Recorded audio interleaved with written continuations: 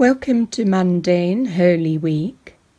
Holiness truly is that sense of being at one in God, set aside and yet within the world. Our sense of this time which is set aside in our homes truly can be a journey that is holy when we allow God to be in us and ourselves consciously in God. For Monday, Tuesday, and Wednesday of this week, we shall be going through the first 14 stations of the cross. Use these and allow them to be those dewdrops that open up, that feed, that also face us with ourselves. Allow them to be intercessory prayers for the world. And let the Spirit take each word and begin a new creation that will rise up on Easter Sunday. Let's quieten ourselves Perhaps light a candle, dim the lights, and allow the inner illumination to be the greater voice and the soft call soul to soul. The first station Jesus is condemned to death.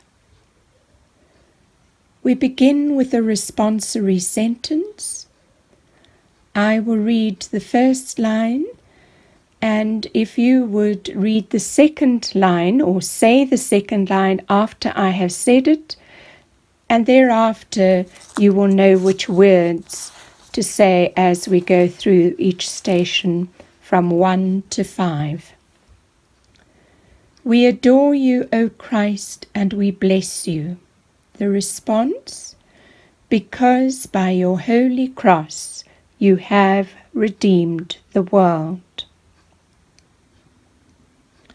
The Bible reading is written in Mark chapter 15, verses 1 to 5 and 11 to 15. Jesus was taken in chains to Pilate. The chief priests were accusing Jesus of many things, so Pilate questioned him, Aren't you going to answer? He said, Listen to all their accusations. Jesus refused to say a word and Pilate was amazed. He spoke to the crowd. What do you want me to do with this one you call King of the Jews? They shouted back, Crucify him. But what crime has he committed? Pilate asked. They shouted all the louder, Crucify him. Pilate wanted to please the crowd, so he set Barabbas free for them. Then he had Jesus whipped and handed him over to be crucified. The Meditation Pilate asked what crime Jesus had committed. It was a good question. Jesus had annoyed the religious leaders, of that there was no doubt. He had been critical of social and religious structures he had healed the villagers, he had told stories to the crowds. He was probably a threat to public law and order.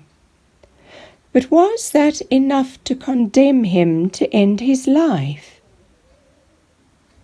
But he would not defend himself.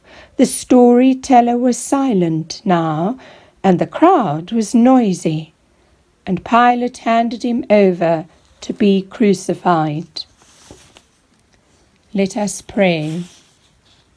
For those on trial this week, and for those appointed to judge them, Lord, have mercy. Hear our prayer. The second station, Jesus takes up his cross. We adore you, O Christ, and we bless you because by your holy cross you have redeemed the world.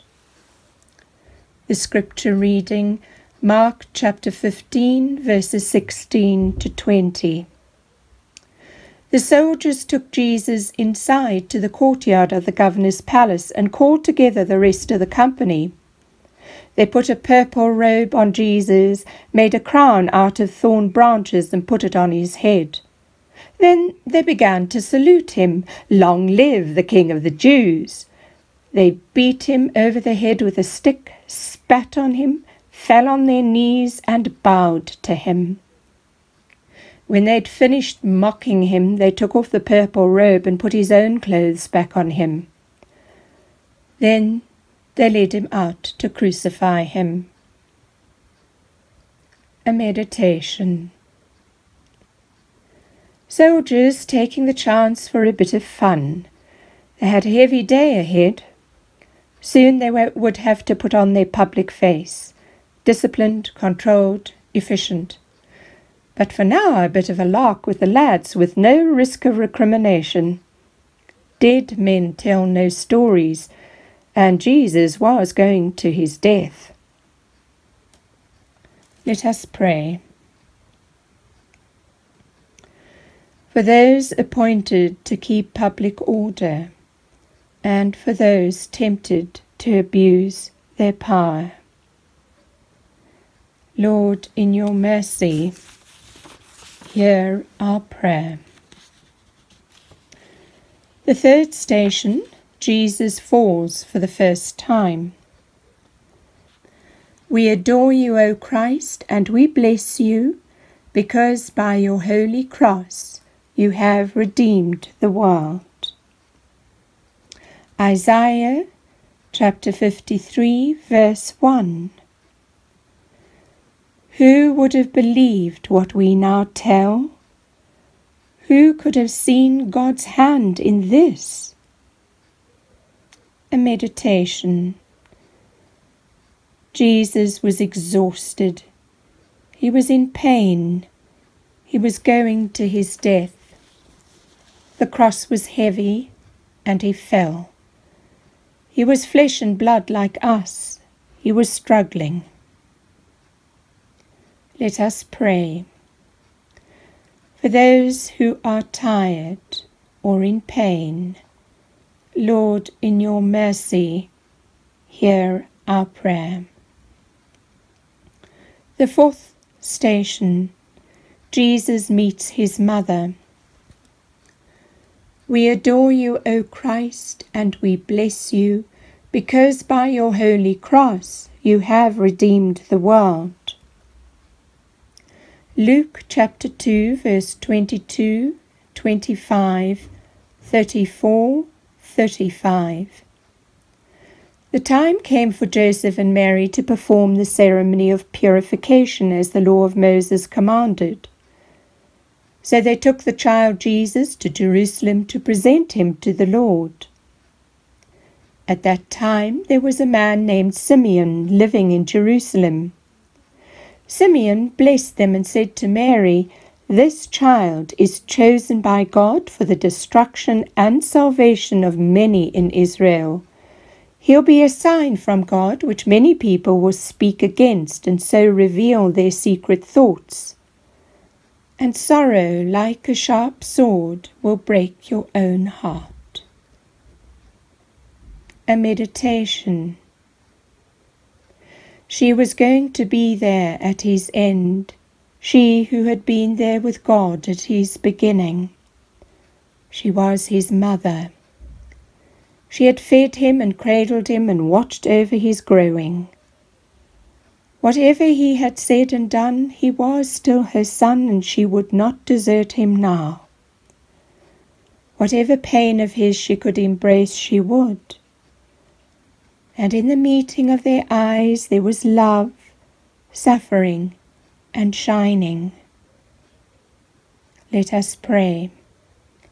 For parents whose children are in pain or in trouble, Lord, in your mercy, hear our prayer.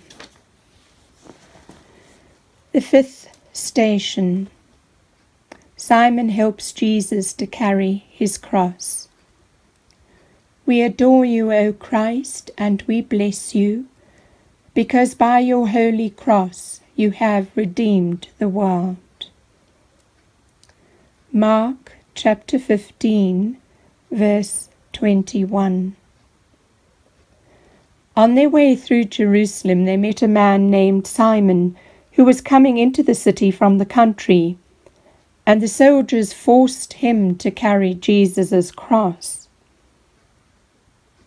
A meditation.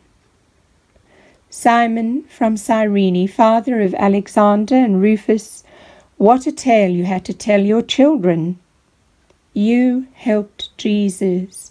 You gave him your strength on the streets of Jerusalem. Willing or unwilling, you, Simon, have become part of his story and he part of yours, for you helped him when he needed you. What would we give to be Simon? Let us pray.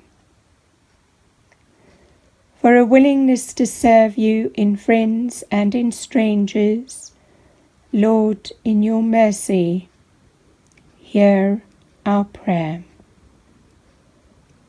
And so, as we come to an end of these first five stations, allow them to resonate, to be a gong gently sounding.